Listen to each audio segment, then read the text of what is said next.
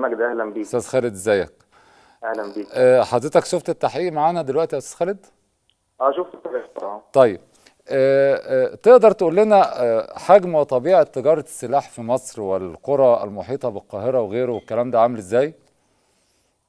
والله يا أستاذ مجدي خلينا نتكلم بشكل آه، يعني أكثر محلية عشان أكون دقيق في في المعلومات وهتكلم عن الصف والمناطق المحيطة بيها يعني عشان معلوماتي دقيقة يعني. اتفضل يا فندم. هو بس زي ما سياده اللي هو اتكلم الوقت إن الصف لها طبيعة خاصة لأن هي رغم إنها بعيدة عن الصعيد إلا إن ال- ال- الخط ال- العربان وال- وال- والبلاد القرى التابعة لمركز الصف واطفيح هي جزء من من الصعيد يعني عادات وتقاليد الصف آه، كأنهم من آه، محافظة قنا.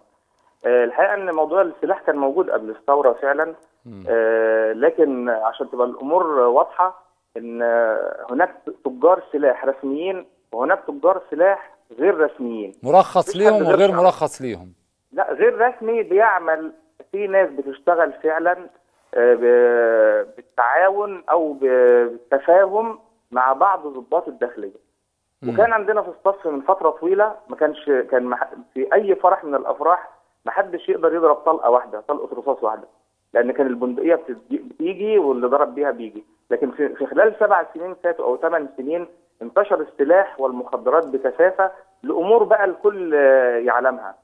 وأصبح الوقت في فرح آه، أي من الأفراح اللي في الصف بتضرب فيه ب 200 ألف جنيه طلقات. ب يا. 200 ألف جنيه طلقات. 200 ألف جنيه طلقات. 100000 جنيه طلقات. وبيقعد تجار السلاح يأجروا سلاح البندقية ب 150 جنيه في الليلة. ويقعدوا بال- بال- بالزنجات اللي هي صناديق ال- الذخيرة يبيعوا علنا. مم. الأفراح بت- السلاح بيتأجر علنا وال- والطلقات بتباع علنا زي الناس اللي بتبيع ترمس في في الشوارع. فده حاجة لازم يبقى إحنا عارفينها كويس جدا. طب أستاذ إن خالد- الثورة- خالد- بعد الثورة حصل تطور غير طبيعي. أستاذ خالد خلينا نشوف موضوع بعد الثورة. آه، بس آه، احدي فرصة لسيادة اللواء آه، سياد شفيق يرد على الجزئية ديت إن من سبع ثمان سنين كان بيتم التجارة دي علنية وتحت سمع وبصر ومساعدة ضباط الشرطة بعض ضباط الشرطة. بعض. سيادة اللواء. لا لا أنا آسف الحقيقة أنا آسف هقول لحضرتك الكلام ده. يعني آه، إحنا مش عايزين آه، نتصيد بعض الأخطاء ونكبرها. كان هناك تصرف يبقى تصرف فردي لكن آه، في مجموع الضباط ومجموع منظومة الشرطة معظمها ناس وطنيين ناس بتتسم بالمصداقيه والشفافية والنظافة. هناك بعض ال- الأخطاء وهناك بعض المسلكيات الخاطئة طبعا بنعترف بهذا لكن بيتم تقويمها أول بأول والعنصر الفاسد بيتم طرده. هل هل سيادة اللواء هل سيادة اللواء هل تم تقديم ضباط شرطه كتير كتير التأديب- أو- أو مجال العقاب؟ التأديب واتفصلوا كتير.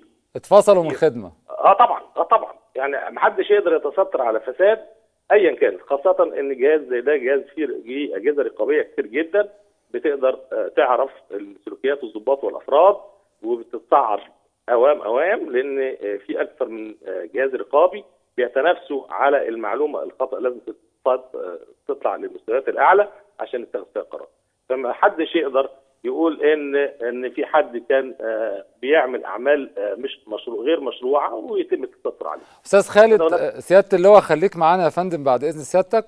أستاذ خالد تقدر تقول لنا بعد الثورة المشهد وتجارة الموت والسلاح في المنطقة دي اللي حضرتك عارفها كويس اتغير فيه إيه أو شكله إيه دلوقتي؟ آه طبعا أقدر أقول لك بس إشارة بسيطة لكلام سيادة اللواء إن هو بيقول إن الكلام ده مش حقيقي وإن إحنا بنضخمه. لكن أنا هقول لسيادة اللواء وهو ممكن تكون عنده المعلومة إزاي إن ال- ال- السلاح انتشر. لما واحد بيتمسك بسلاح بيدخل ناس يتوسطوا سواء بشكل ودي أو بمعاملة ما. فبيحصل انهم يقولوا له طب هاتوا لنا بندقية تاني ب- اسمها سلاح تسليم سلاح عطلان.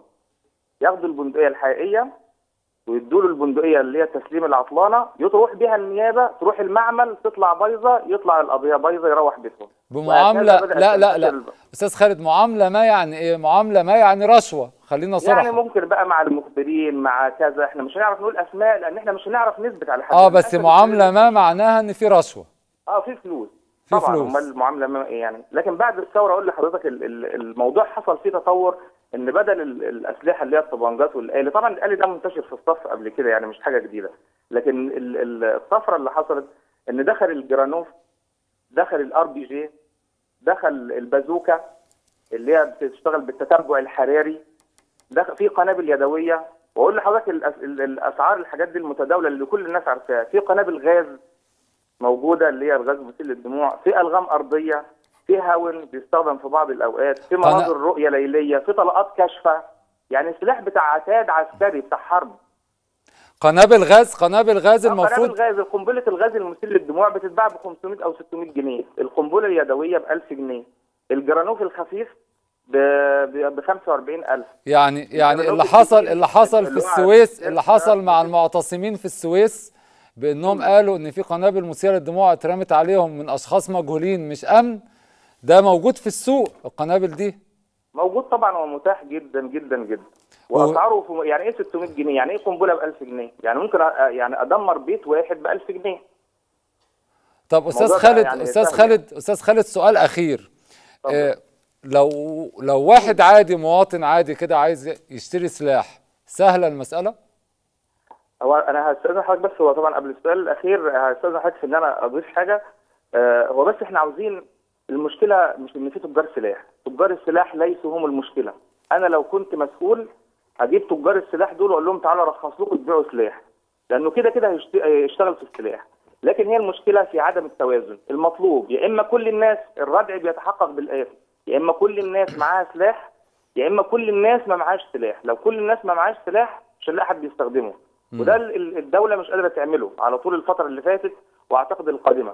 لكن لو كل الناس معاها سلاح ده يتحقق لكن عاوزين يبقى سلاح شرعي. يعني يفتح باب الترخيص. ما ينفعش البلطجي يبقى معاه طبنجه أو بندقية قالب يوقفني بيها وياخد عربيتي وأنا لو عديت في كمين معايا طب- ال- الطبنجه بتاعتي وأنا عندي محل أو عندي مزرعة أو عندي شركة أو مصنع أتاخد بيها ويتعمل لي قضية. اللي بيعرف يخبي سلاحه ويعرف يهرب بيه البلطجية. لكن الشرفاء النضاف اللي عاوزين يحموا نفسهم مش عارفين.